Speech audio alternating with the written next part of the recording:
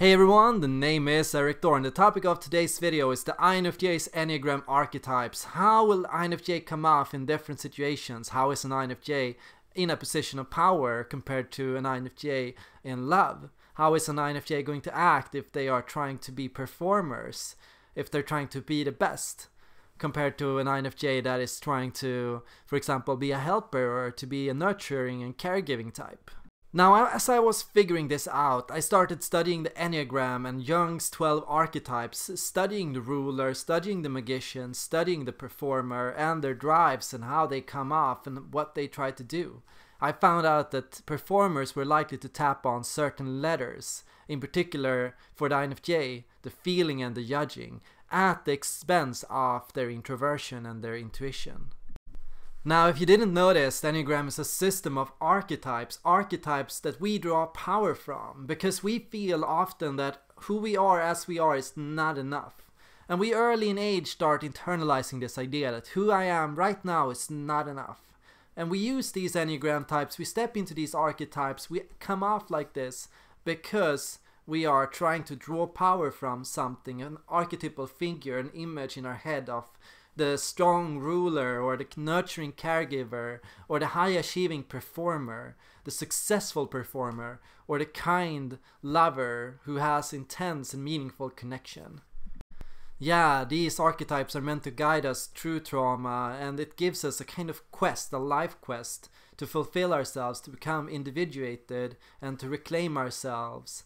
Sometimes, however, these archetypes lead us away from ourselves they make us be and resemble something we are not. And that's the whole point of this theory of pluses and minuses. The pluses and minuses map out which letters you use and which letters that you don't use or don't use enough. The minuses are things that each Enneagram type has begun to repress in themselves, and having more pluses is not necessarily positive here, because often for an 8, the repression of introversion is bigger than, for example, in a 4, where the repression of introversion, intuition, and feeling is more mild and gentle. The core is not how many pluses you have, the core is how attached and fixated you are on being a certain person, something you're not, something which brings you stress and anxiety and pain. And so following this theory, these are the differences depending on which center you are in. Note how the 2, 3 and 4 all have strong judging and notice how they also have weak intuition. Notice how the 5, 6 and 7 all have strong introversion. And notice how they at the same time have weak feeling. And realize what a goldmine this is. For example, it allows us to track what an INFJ will be like in a position of power. It shows that the INFJ in power in the 8th Enneagram type is typically going to resemble an ENFJ rather than an INFJ. And there's lots of political INFJs and leader INFJs that have this ENFJ persona, this interpersonal INFJ rather than the typical INFJ. Now what happens when an INFJ steps into the shoes of a reformer? Well, first it becomes that the INFJ becomes fascinated with vision. They've seen themselves doing something impossible and now all they can think of is this vision. They're going over this vision over and over. They're seeing themselves win over and over. They're seeing themselves breaking a record. They're seeing themselves doing something previously thought to be impossible.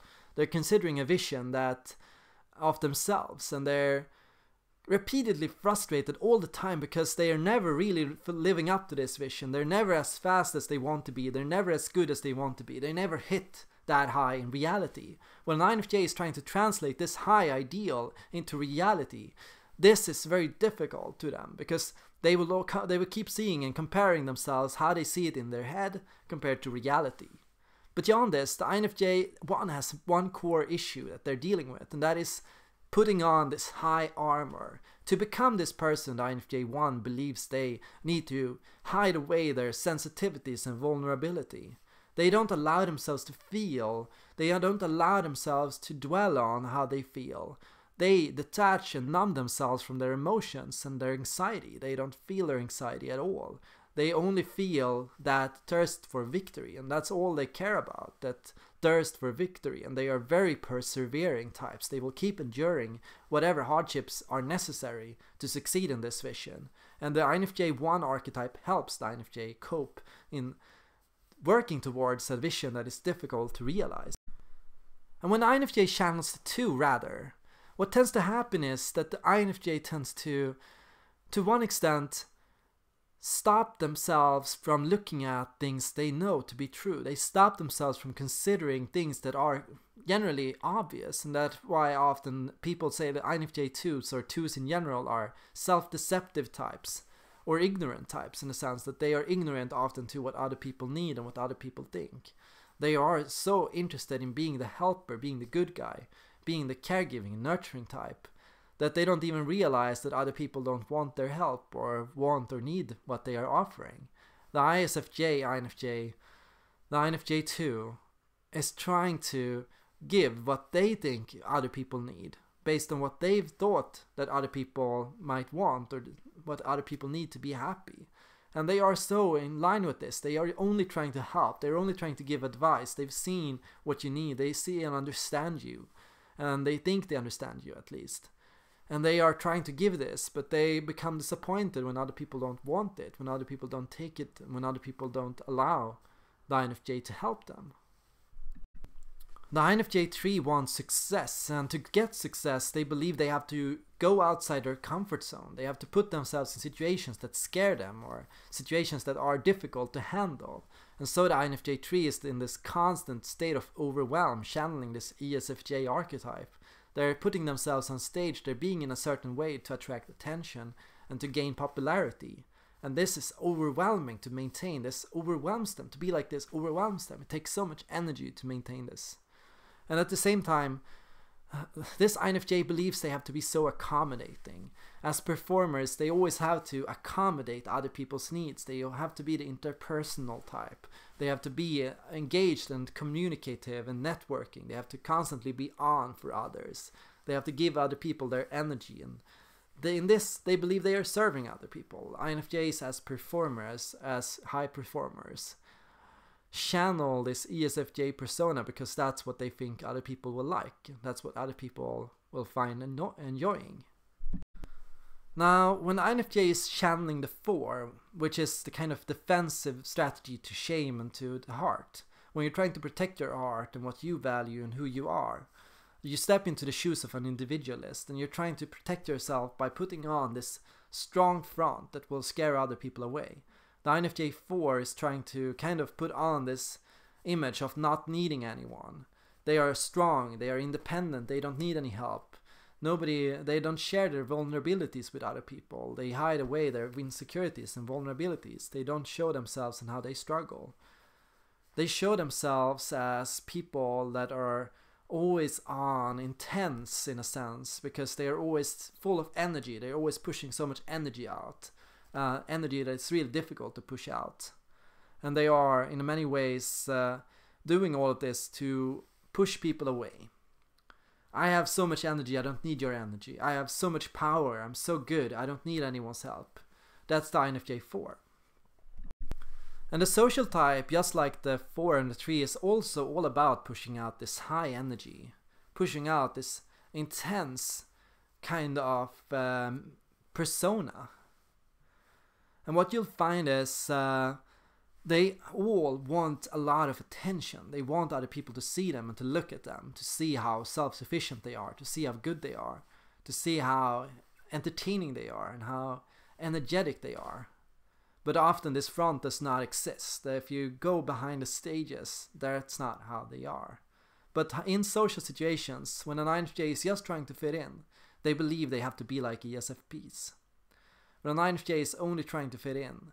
They're trying to channel this interpersonal, this high energy uh, ESFP mode. They're being overly accommodating to other people. They are being and they force themselves into the roles of listeners. Typically, INFJs are highly communicative. They're all about influencing other people, sharing and expressing their voice. But the INFJ SO silences their own voice.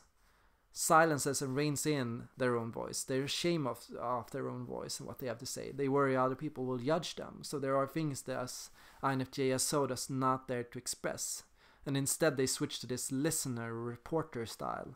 They start interrogating other people, or rather they start asking other people questions. So how are you doing? They're constantly putting everything on your side. They're constantly deflecting attention to you from themselves because they are ashamed to some extent. They don't want to be seen. They don't want other people to notice them because INFJs fear uh, being branded as outsiders. They fear becoming outcasts in a sense. And for the INFJs, so it's very important to fit in. They're trying to defend themselves and they're trying to defend their status in the community. The INFJ SX. This is the INFJ in love. When an INFJ is in love, they tend to idealize, and that's the thing about love. In love, we all idealize. And so, in the first stages in a relationship or when you get to know someone you really find to be fascinating and meaningful, INFJs tend to keep this reporter style. They tend to keep attention off themselves in this relationship. They swarm the other person with questions. So, who are you? What are you doing? What's this? What's behind that? The INFJ in the SX role is kind of a person, a counselor. They're trying to counsel you all the time. They're trying to understand you, to read you, and to be around an INFJ SX can be a bit overwhelming because they really read you. They're really constantly reading everything you do. They're constantly trying to help you, to heal you in a sense. They're trying to be a support, and to be a support, they tend to they tend to switch into this style of uh, constantly keeping all attention on you. The INFJSX is also constantly kind of touching you and grabbing you and getting your attention in different ways. They're they're doing all kinds of things to show and comfort you and to be around you in a sense. Now INFJ SP is mainly concerned with their own health and well-being.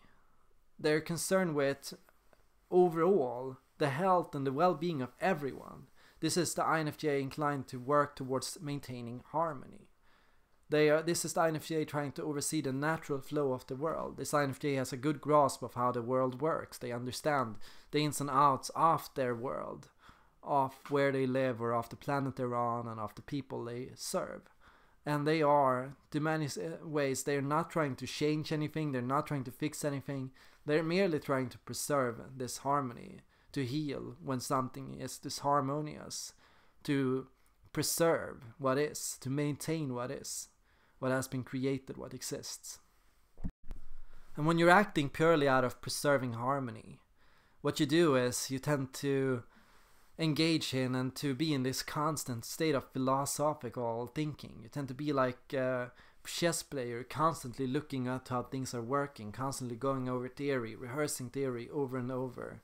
You tend to be looking at what matters and what's going on, and you tend to look at and counsel other people and to counsel the world. You act like a counselor, a person that guides and uh, sees and looks at why things are going wrong. If something has been disrupted, the INFJ as a, an SP type, as a magician, will tend to come in and go, so why did this happen? What made this happen? What made this disharmony come up? And the hope is they will bring up information or insight that will solve this disharmony and return things to balance. The INFJ 5 is the INFJ channeling their sage, their inner ego. And the INFJ here is someone that is trying to maintain their center, to avoid being shaken up by things, to avoid being thrown into something that will discomfort them. And the difficult thing for the 5 is managing these situations that bring them outside their comfort zone. Where the 3 wants to constantly go outside their comfort zone, the INFJ 5 wants nothing with to do with going outside the comfort zone. They believe in and they go and retreat to the comfort zone, to an area of knowledge and expertise, an area where they feel comfortable. And this is what makes the five somewhat less philosophical. The five is attached to something they are really expertful in. They're really good at something. They have the subject they know everything about.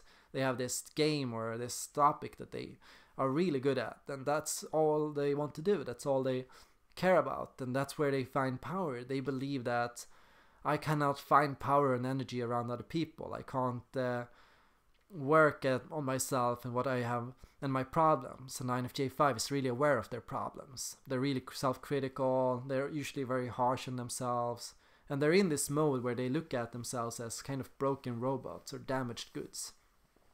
And in this stage, as they're playing video games or as they're kind of distracting themselves and uh, they're kind of working on small flaws and they're thinking about their flaws and all their issues and going over and making and thinking about oh this is my issue and this is my issue and this is my problem this is a problem with me and this is and they're constantly in this process of self-diagnosis the INFJ6 is also very inclined to diagnosis, constant self-diagnosis. How am I doing? Is uh, am I doing things good? Am I doing things correctly? They are also quite self-critical and they are also quite inclined to perfectionism in a sense that they are constantly looking at themselves and what they do and their flaws and what they could do better. They're looking at why they aren't as good as they need to be. They're looking at what they need to do to find power and energy. And this INFJ feels they have no power. They don't trust their own voice. They hold their own voice back because they fear that it is damaged. And just like the 5 in a sense, the 6 is trying to keep this back.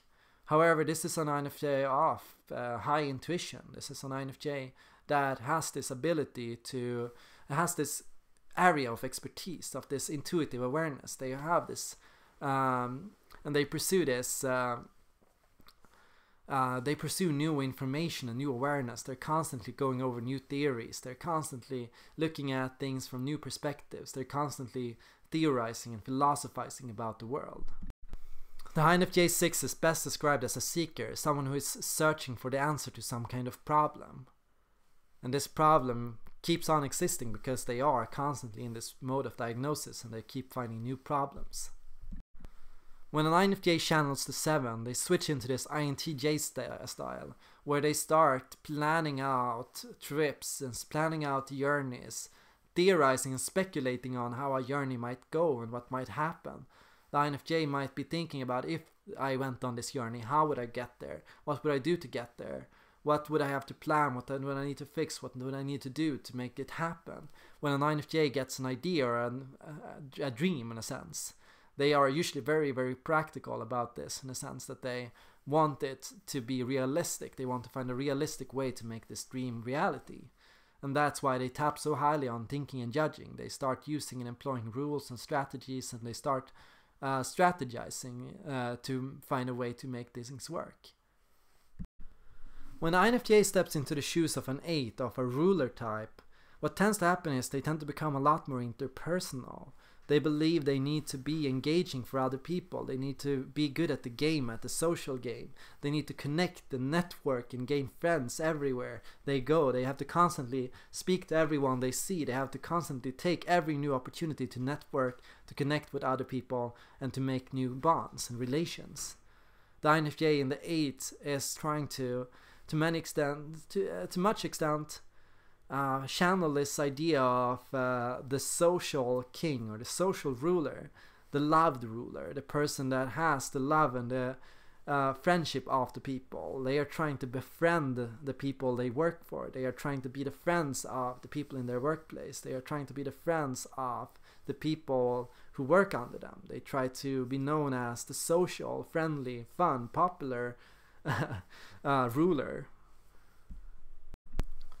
now, the INFJ 9 is uh, primarily oriented by being open and remaining intuitive. This is the most intuitive of all INFJs, and they are trying to maintain their, their awareness awareness of every new opportunity, awareness of every possible change, awareness of everything that could constantly be changed. The INFJ 9 is in this mode of constant adjusting and fine tuning, new theory, new idea, new idea, new idea, and new ways to do the idea, new way to do the idea. This is a state of perpetual confusion because the ideas, their intuition is overstimulated. The INFJ 9 has this ENTP style in how they explore ideas. They are like the Vinci's, they are like people that are in many ways uh, looking at and constantly diagnosing how the world works. They're constantly diagnosing how am I doing in this? How am I doing in that? How what problems exist? What they're constantly aware of dissonance and incongruity and the INFJ 9 is always trying to fix this incongruity. They're always trying to overlap and fix together and patch together all their theories and all their ideas together. They're highly creative, but their ideas and their intuition is never really stable enough to become actual theory, to become an actual hypothesis. It tends to remain as this uh, just overarching, new, changing, constantly changing idea. And for a long time when I was in the nine, I feel like I was constantly altering my projects, and going things over, over and over again, and never settling anything for sure. As an INFJ, I felt that my key challenges have been for the last few years to really integrate my feeling function, my feeling nature, to become more in tune with my emotions and what I find meaningful. And you might have seen and noticed this, how I sometimes wonder what the meaning of and the purpose of what I do is how I find myself wondering about the value of what I do, how I find myself wondering about how to use my theories for the better good of everyone, how to do and have a positive impact on other people. As I study the Enneagram, I'm increasingly aware of how none of the Enneagram types really match who an INFJ is. And none of the INFJs that are stuck or attached to one Enneagram type will be can be considered individuated because there are blocks, there are things in the way that keep us from self-realization. And I've been thinking lately that perhaps my next challenge should be to create an INFJ handbook. A handbook where I take all this theory and when I put it to practice, when I show an INFJ how to manage different situations such as love, such as leadership, such as success, how to relate to things like materialism, how to relate to things such as relations and bonds, connections, how the INFJ fits with the different personality types, how the INFJ can remain balanced and remain in touch with their center, how the INFJ can protect their individuality and who they are, yeah, I feel like that could be a good starting point to really digging into a person and into a way of being and into understanding something that I for a long time felt I had no clue about who I was, where I was going in life, how I would get there, and how I would manage being something such as an INFJ in this world.